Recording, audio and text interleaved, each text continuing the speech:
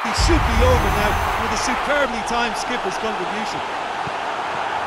That really was quite remarkable.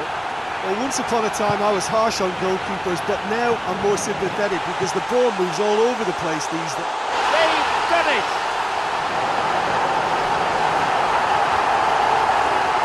Oh, that was great to watch. It had to be an instant decision to lob the ball, and it just paid off perfectly.